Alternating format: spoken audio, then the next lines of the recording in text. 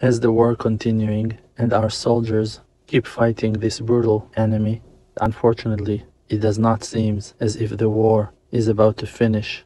New attacks from the sea, the Hezbollah from the north and the Hamas from the south, probably two names of dark demons from above, are putting all their efforts to pressure our holy nation. But we do the best we can to keep our moral up, to support and help each other, to show the goodness that is treasured deep in our hearts, even in time of trouble.